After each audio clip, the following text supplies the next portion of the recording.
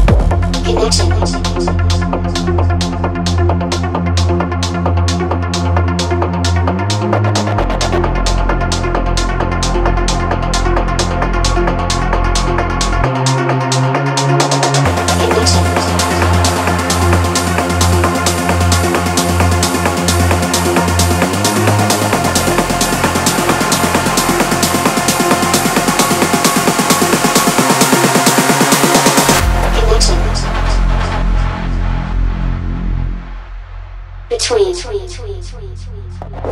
Connection. The connection between our world. Connection.